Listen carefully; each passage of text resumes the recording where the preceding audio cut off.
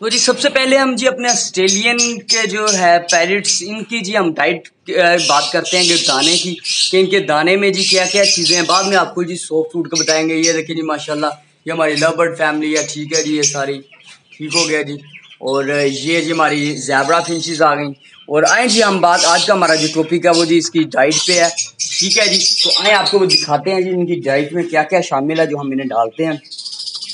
तो ये है जी ये है जी हमारे उसका फिंचिस का, क्योंकि ये तो अकेला आपको वजह से पता है, अकेली कंगनी ही ये बहुत शौक से करती हैं, बाकी दाना ये ज़ाया करती हैं।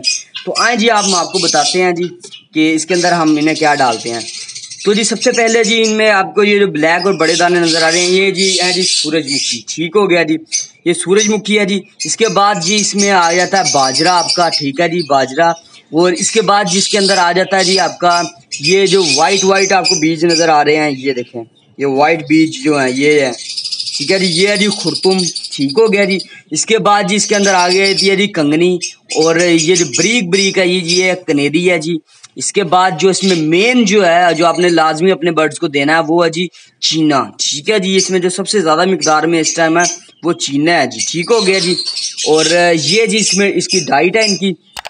तो ये बहुत, माशाल्लाह जी, खुश होकर खाते हैं अपनी डाइट ये जो इनकी आपको बताई है, ये देखें जी, ये इन्हें डाल देते हैं जी।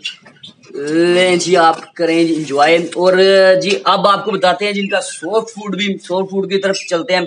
तो ये सबसे पहला जो सॉफ्ट फ़ूड हम इन्हें डालते हैं, वो जी, ये है ये है जी ब्रीक क्रश किए हुए हैं जी, हमने एप्पल्स को, ठीक है? ये थोड़ी देर पड़े रहे, इस वजह से इनका थोड़ा सा कलर जो है, वो चेंज हो चुका है। ठीक है जी? तो दोस्तों, ये क्रश करके हम ये भी इन्हें डालेंगे।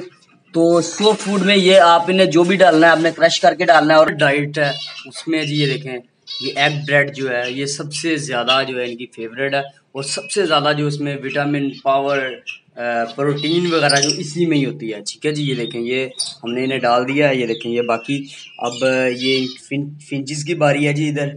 इन्हें भी डालेंगे और ये लास्ट पे जी बजरी रखे हुए हैं, इन्हें भी डालेंगे। कहने का मतलब है जी, ये वो फ़ीड है वहद जो है कि आप हर तरह के बर्ड को दे सकते हैं। इसके बाद जो ग्रीन लीफ में आप, आपकी जो सब्ज़ियाँ आ जाती हैं, जैसे ये ग्रीन लीफ में हमारी जी सब्ज़ियाँ हैं, ये भी आपने इन्हें हर हाल में देनी है, ठीक है जी। इससे इन्हें मिल जाती है जी फाइबर मिल जाती है, बहुत अच्छी मकदार में, ठीक है जी ग्रीन लीफ की जितने भी सब्ज़ी हैं फाइबर मिल जाता है। इसके बाद आयरन का जी बहुत अच्छा बहुत अच्छा सोर्स है ये। ठीक है जी आयरन का। तो और ये जो है इनकी डाइट में बहुत अच्छा रहता है। ठीक है जी तो आए जी, हम इन्हें भी डालते हैं। ठीक है ये लें जी ये देखें जी, ये हमने डाल दिया जी, माशाल्लाह इन्हें। तो दोस्तों, ये है जी लौकी। ठीक है जी, जिसे हम कद्दू भी कहते हैं। ठीक है जी तो ये जी अपने जो हैं ऑस्ट्रेलियन ठीक है जी इन्हें बहुत ज़बरदस्त इनकी डाइट है सॉफ्ट फ़ूड में जी इन्हें लाजमी डालना चाहिए हमें, ठीक है जी? तो आए जी इन्हें डाल के चेक करते हैं जी, ये वाकई क्या खाते हैं? बहुत ये है कि इन्हें इसमें प्रोटीन वगैरह मिल जाती है प्रोटीन के अलावा सॉरी प्रोटीन तो नहीं इसमें ये कि कार्बोहाइड्रेट्स वगैरह मिल जाते हैं इन्हें हर तरह के, ठीक है जी? और विटामिन वगैरह मिल जाते हैं तो जी ये हमने इन्हें डाल दिया जी सॉफ्ट फ़ूड ठीक है जी? तो आए जी चलते हैं आगे, ये है जी, माशाल्लाह हमारी बाकी सील फैमिली है जी, माशाल्लाह। ये टर्की फैमिली आ गई जी। और ये है जी हमारे आगे कैनाफोल्स। ठीक है जी?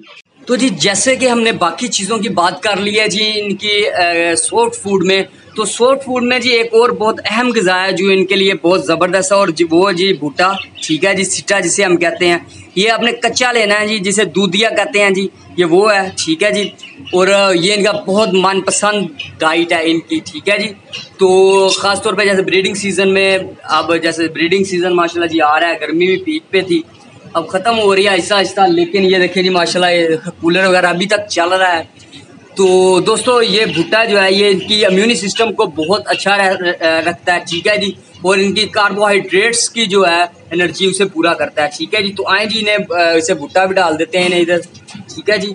तो ये देखें जी, ये माशाल्लाह हमने भुट्टा भी डाल दिया आप ये भी इंजॉय करेंगे, ठीक है जी? और ये जी लव बर्ड्स वगैरह के लिए भी बहुत अच्छा रहता है जी। तो आए जी, हम अपने लव बर्ड्स को भी यही डाल देते हैं। ठीक है जी दोस्तों। तो काइंडली अपने चैनल को सब्सक्राइब कर दें और शेयर एंड लाइक भी वीडियो कर दें। अगर आपको वीडियो अच्छी और इन्फॉर्मेटिव लगी हो, ठीक है जी। और अगर किसी भी चीज़ का ये देखें, जैसे अभी आपको मैं दिखाता हूँ बाद में, जितने हमारे पास बर्ड हैं, जितने एनिमल्स हैं, इनमें किसी की भी डाइट का ना पता चल रहा हो तो लाजमी कमेंट सेक्शन में लिखे ताकि हम आपको जो इन्फॉर्मेशन हमें है, वो हम आपको दे सकें। ठीक है जी।